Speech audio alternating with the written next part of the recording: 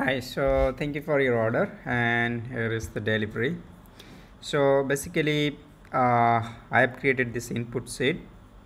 So you can specify that matching column name in original sheet that is property address line 1 and matching column name in came back sheet that is property address and if you look at this section now so it doesn't have any data because I haven't run this particular code yet now just go to this input sheet and then just click on that.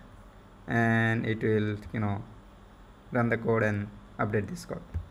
So that's it. Thank you